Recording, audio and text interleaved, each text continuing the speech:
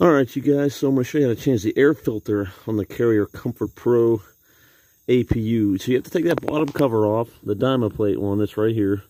This is your air filter housing right here. So, pop this clip open, and there's another one on the back side. Pop that one open, and you just kind of wiggle, pull this cap off. Very simple. There's your air filter right there. Let's give that a little wiggle. And boop, pops right out of there. And then just kind of put your hand in there. You know, take a rag, wipe that out real quick. I mean, it's very self-explanatory. The only thing you need to do is I'll show you on the new one when you put this back on. There's one little thing. That's the original. It's pretty dirty. It was definitely due.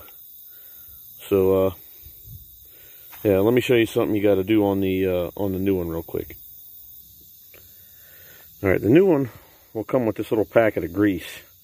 And all you do is you smear a little bit of that around in here.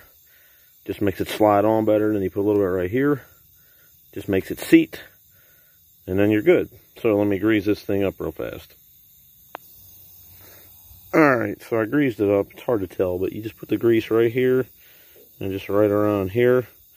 Then you just pop it back on. So let me stick it in there. All right, that's the new filter right there. And that grease just helps it seat in there because it kind of has to slide back in and you'll feel it seat when it bottoms out. So that grease helps out with that. Now all we got to do is just put our cover on and put our latches back on and that'll be it. So let me do that. All right, cover's back on. That's it. Air filter is probably the simplest job on here. So now all you got to do is just uh, put your bottom diamond plate cover back on and you are good to go. So appreciate you guys watching this one. If you have any questions, you can leave it in the comments down below. You can email me if you want. Emails in the description.